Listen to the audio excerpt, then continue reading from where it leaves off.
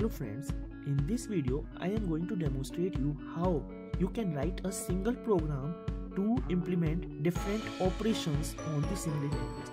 And the different operations will be like program to add the node at the beginning if you want to insert a new node at the beginning of the single list second is to display the data that is there in the single list third to insert a node at the end to insert a node after a particular node to insert a node before a particular node. Then we will start with deletion operations. And first we will start with deleting a node from the beginning then deleting the node at the end deleting a node with the data as given by the user. So all these three operations we will be implementing in the same program. And then we, we are going to write a function to count the number of nodes to get the sum of the data that is there in the list and to reverse the order of the linked list. So all these programs I am going to explain you in this coming 9 videos from P19 to P28. So in this particular video I am just going to demonstrate you the overall behavior of your program that just to reduce the complexity of the program what we are going to do we are going to declare the functions for, for each and every functionality. Means for each and every program we are going to write a separate function. And then in the main program we are just going to call these functions. So that it, it will help us to reduce the complexity and sim at the same time we can just concentrate on a particular operations. So like over here in the in main program I just going to put up this menu and to and will ask the user to enter 1 for adding the number at the beginning enter 2 to display and so on. And once the user enter the number then with the help of a switch case I will simply call the function according to the functionality that user has selected.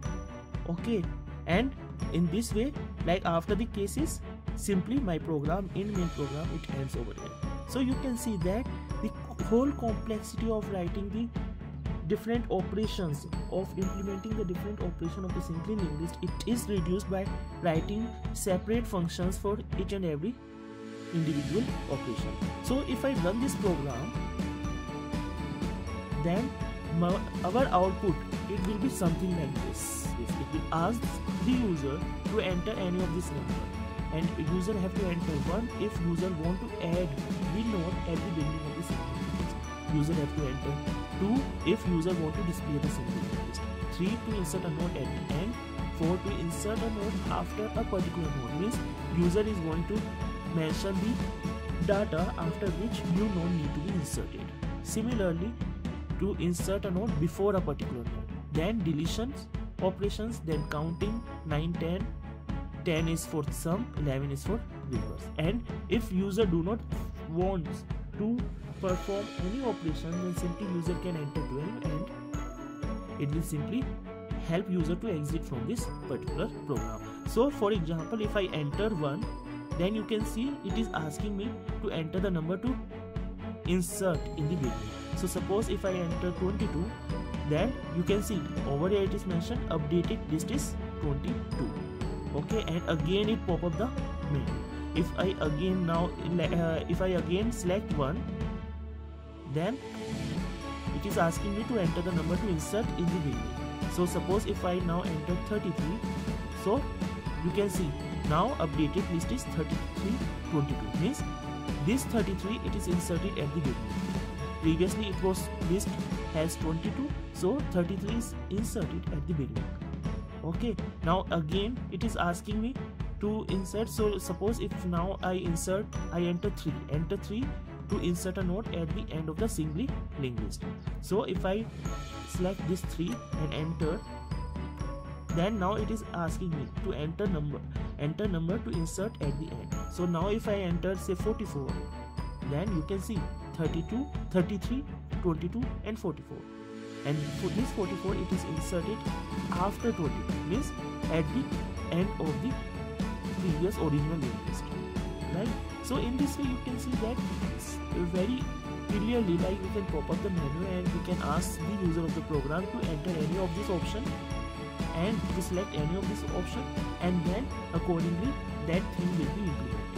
Okay now suppose if i enter 11 11 is to reverse the single list so if i enter 11 then you can see previously my list is 33 22 44 and now it is 44 22 33 right? So my list is reverse if i again select say 11 then now it again become 33 22 44 okay so again the list is reversed. So in this way we can just user can select any of this option and accordingly our program will work.